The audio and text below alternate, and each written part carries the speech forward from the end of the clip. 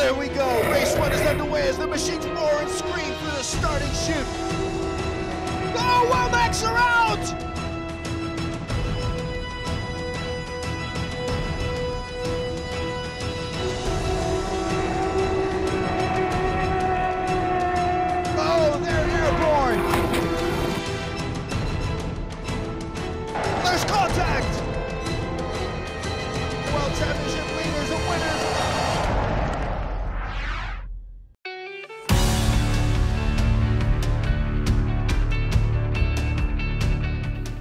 The Class 1 World Powerboat Championship returns to Abu Dhabi for the final round of the 2015 season, where the world title in both Class 1 and V1 will be decided.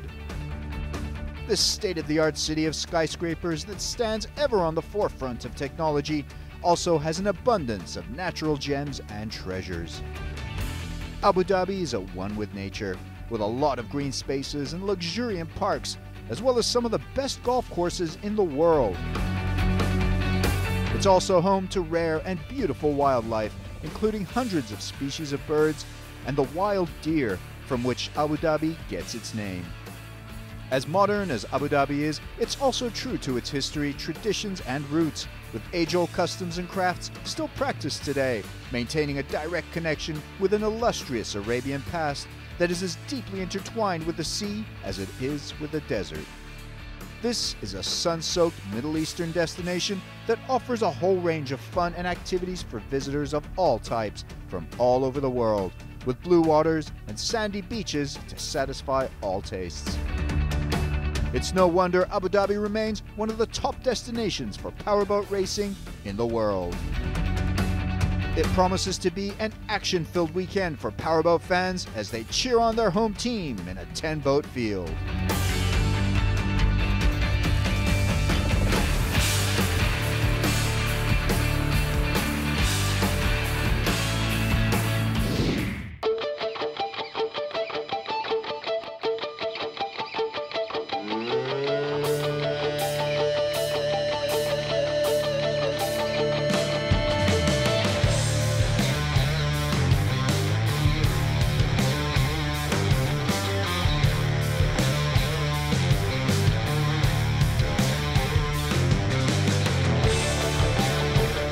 There's a total of 10 boats competing in the Grand Prix of Abu Dhabi, six Class 1 catamarans and four V hulls.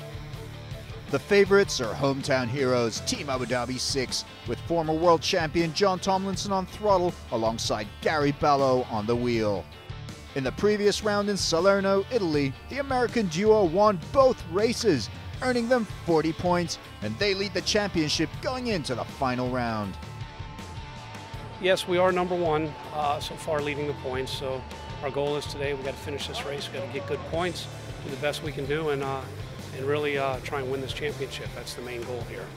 They're joined by Team Abu Dhabi 5 with Majid Al Mansouri and Rashid Al Tayer, who had a runner up and fourth place finish in Italy that put them equal second in the world standings.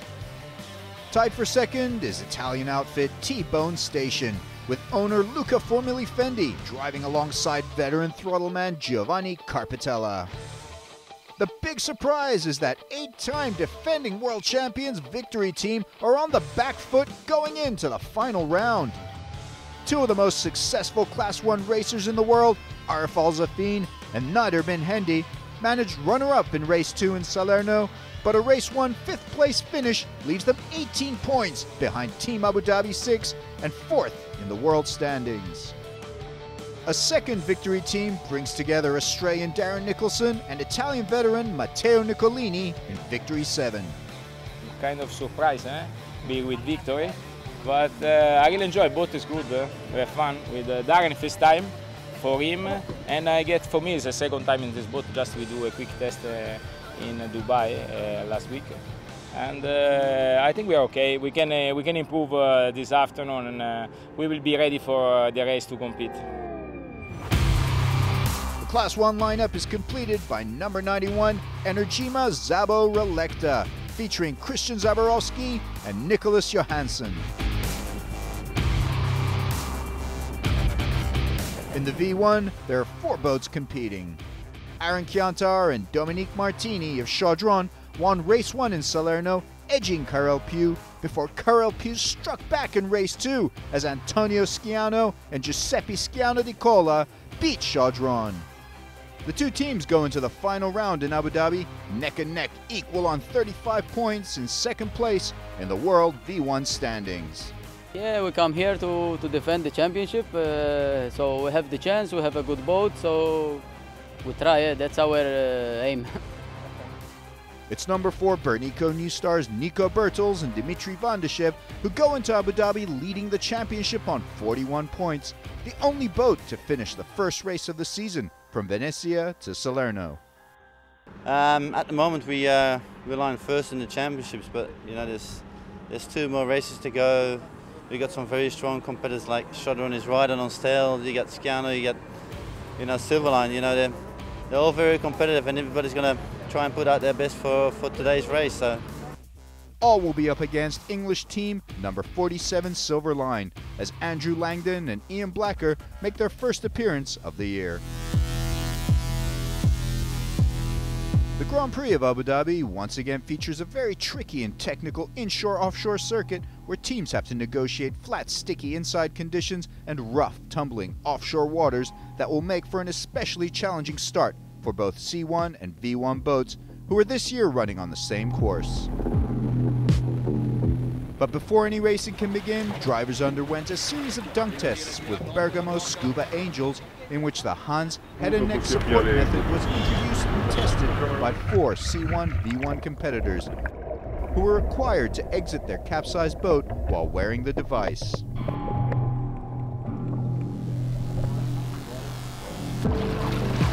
What we're testing today is the HANS device, the head and neck support system that uh, we are looking to bring into offshore racing next season. Um, so we're doing some trials now just to make sure that everything's okay uh, before we bring it into the rulebook. The HANS device is uh, and basically in a frontal impact it stops the head pulling too far forward and causing uh, uh, spine damage.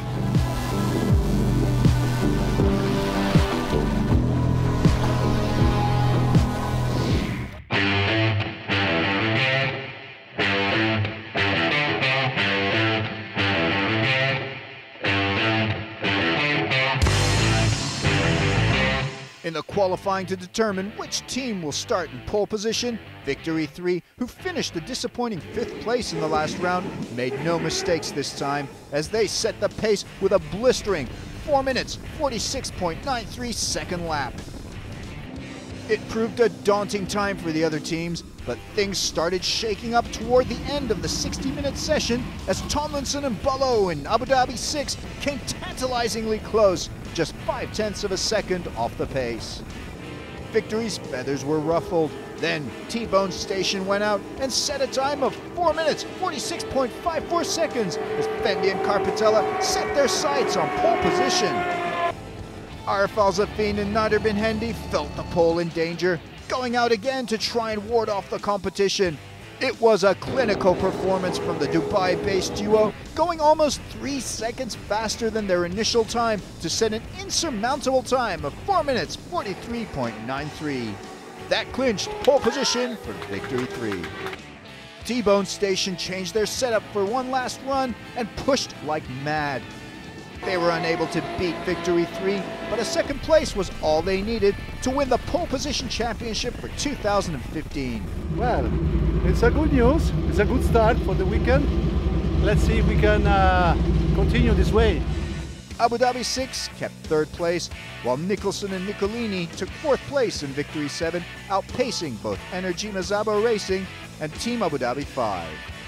Today I am sure I am happy because I am use our original boat, the new boat number three, because uh, you know the first race in Salerno I am use the old boat. Uh, I can feel I can do something, uh, but anyway I am here in Abu Dhabi. I show everyone uh, the Middle East boat factory team is still the king.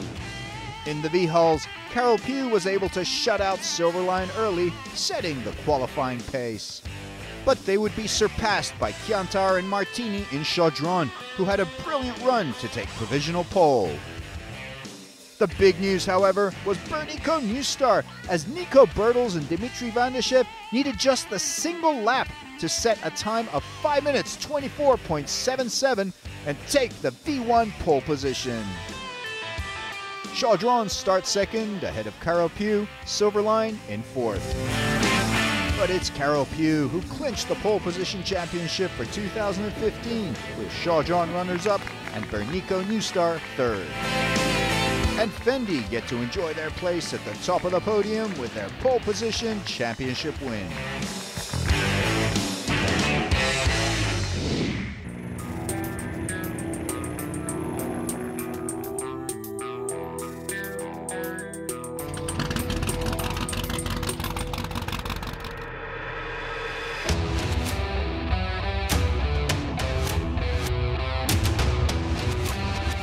Minutes were ticking down to the penultimate race of the season. The excitement building, tensions mounting.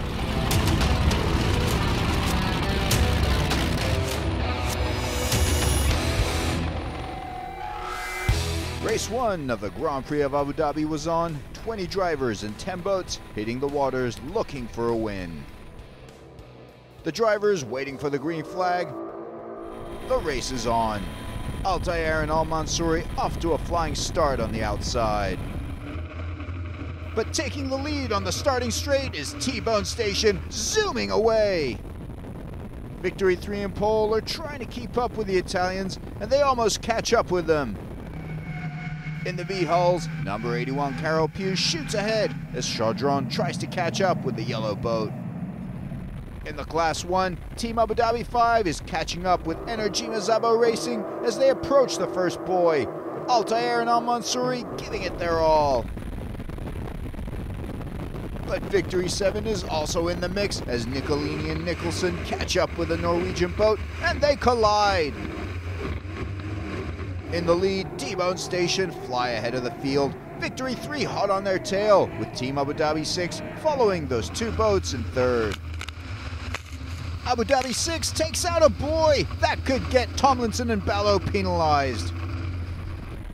Further back, Victory 7 passes Energy Zabo Racing to move into fourth spot. T-Bone Station is 16 points behind Abu Dhabi 6 in the world standings, so they know they need to win here to keep their hopes alive. Abu Dhabi 6, on the other hand, know they just need two runner-up finishes to seal their first ever world title. In the V1, Carol Pugh's Antonio Schiano and Giuseppe Schiano lead the race in lap 1. At the back of the Class 1 field, Al Tayer and Al Mansouri and Abu Dhabi 5 are locking horns with Energima Zabo Racing. The Abu Dhabi outfit overhauls Zaborowski and Johansson to move into fifth position as the crowd cheers them on. At the end of the first lap, T-Bone Station in command of the race with Victory 3 behind them in second, followed by Team Abu Dhabi 6, then Victory 7, Abu Dhabi 5, and Energima Zabo Racing bringing up the rear. In the V-hulls, Carol Pugh continues its formidable start to the race by opening its lead. But there's a big battle for second behind them between Chaudron and Bernico Newstar. Chaudron just edging ahead.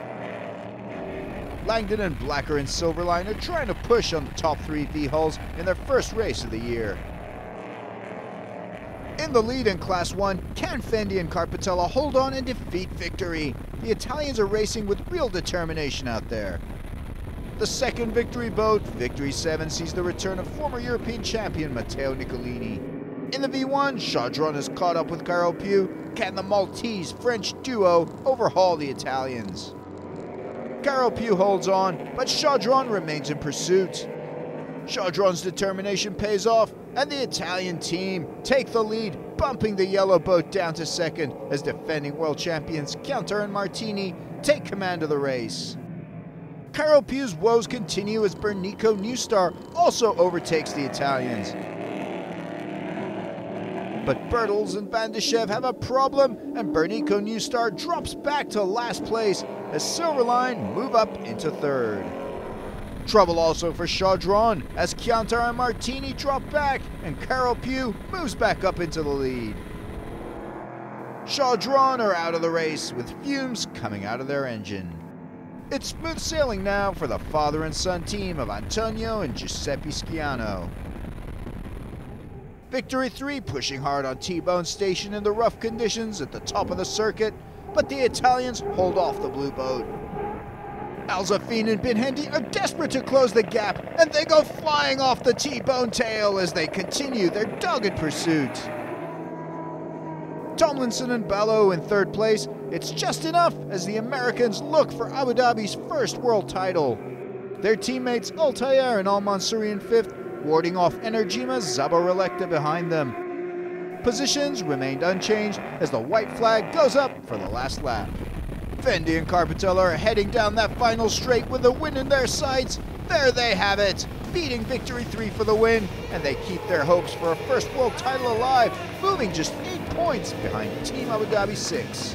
Carol Pugh, comfortable winners in the V1 as the father and son team cross the line ahead of Silverline. Celebration time for the Italians as they beat their nemesis Victory for the Race 1 win.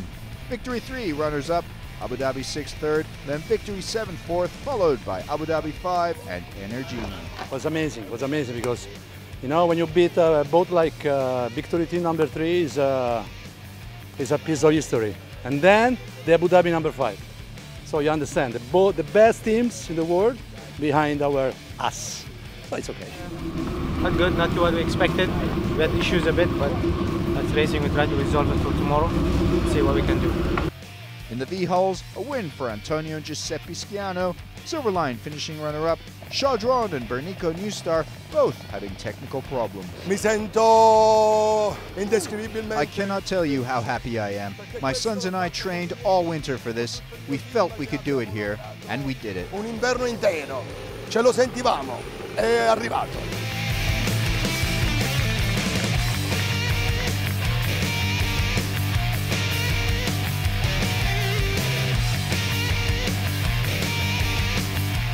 Abu Dhabi 6 now just needs a third place finish in race 2 to win its first ever world championship.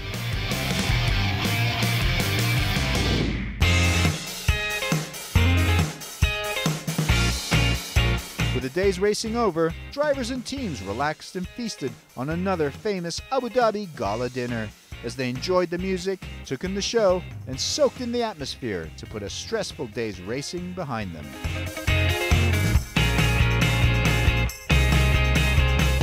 Killer Class 1, have fun.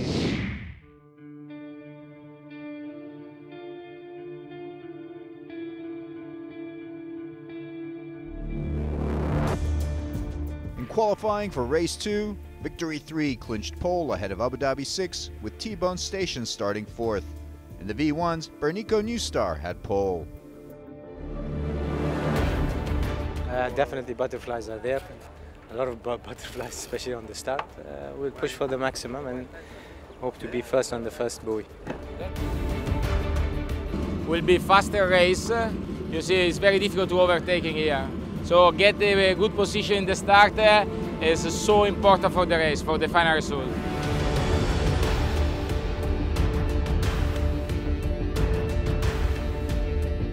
Silverline starts second behind Bernico Newstar. Yeah, we're much better today. We got um, the engines dialed in better this morning. We got a better balance in pole, and we've we closed up a big gap, nearly 40 seconds from where we were yesterday. The final race of the year. The Abu Dhabi crowds taking their seats and holding their breath. A world championship title has never been this close. Could their team win the biggest trophy in powerboating? Green flag goes up, and the final race of the season is underway. Victory 3 know they need a minor miracle if they're to defend their world title, pushing to the max on the start straight.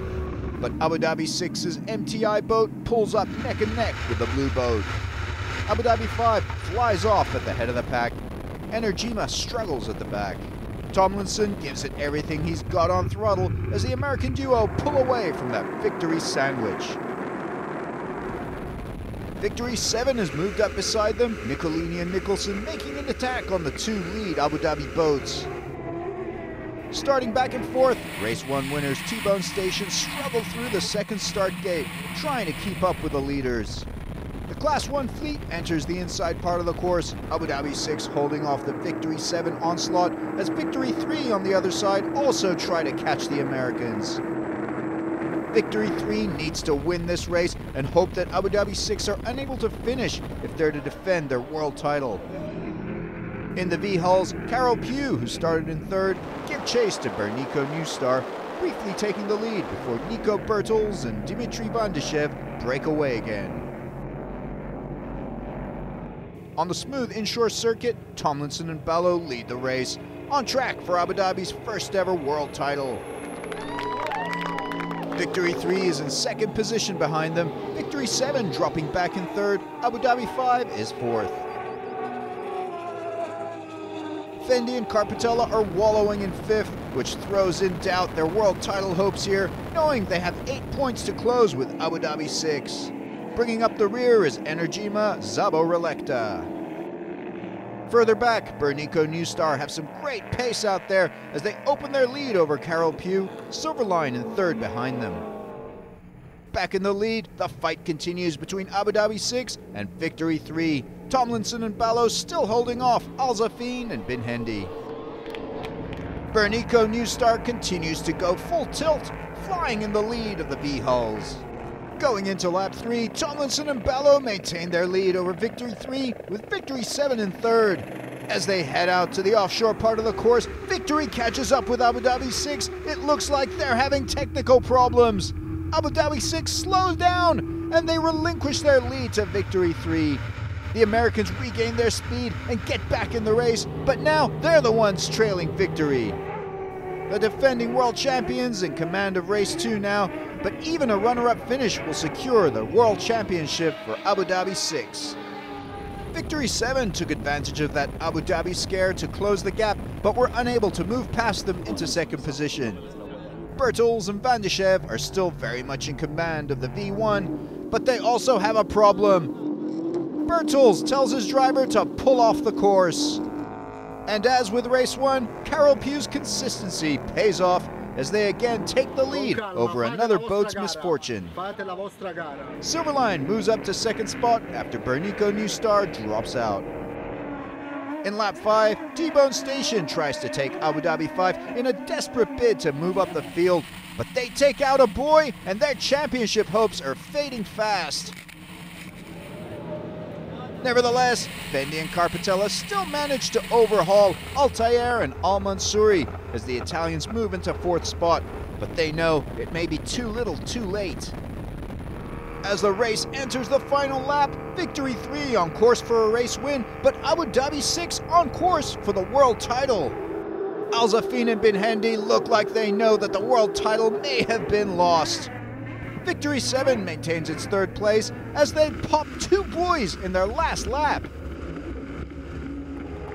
Victory 3 are race 2 winners, closing out the year with a win. But they cede the world title to Abu Dhabi 6, the new world champions. Great racing from the American duo. Victory 7 finished third ahead of T-Bone Station, Abu Dhabi 5, and Energima Zabo Relecta. It's good race because I will try the push from the start. And Then I saw number six coming. Then uh, stay uh, front of us uh, two lap. Then other try to push outside at the limit. At I pass him. Then we'll continue with uh, the first position.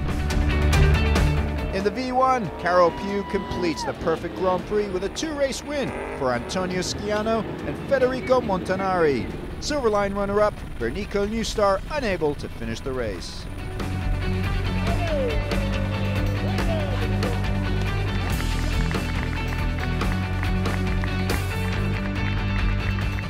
World V1 champions for 2015, Carol Pugh won 75 points. Bernico Newstar, world runners-up, Chaudron third. Yes, we are very happy for this World Championship because I'm a winner in, uh, in, this category. Today is uh, very hard because uh, Bernico today is fast, but our affordability of engine has a premium in the first position. yes, we are very happy.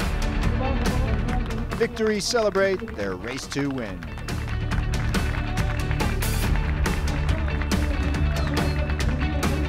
The UIM Class 1 champions for 2015, John Tomlinson and Gary Ballough of Team Abu Dhabi.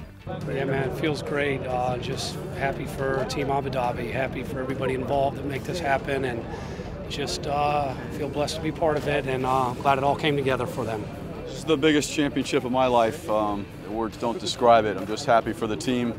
I'm happy for everybody that's involved with the Abu Dhabi race team. And uh, I'd like to thank everyone. As uh, H2 Racing, we have uh, so finished a five years program of promoting Class 1 with, uh, for the UIM. We wish the best of luck to all the team, to the new promoter that UIM will appoint. We will concentrate and continue our work in Formula One, Aquabike uh, and Nations Cup. And of course, uh, we remain always uh, available to the UIM to support the sport in any form and wherever it is request our knowledge. Thank you and good luck class one. That brings to a close another UIM C1V1 World Powerboat Championship. See you in 2016. And there we go. Race one is underway as the machines roar and scream through the starting chute. Oh, go, Womack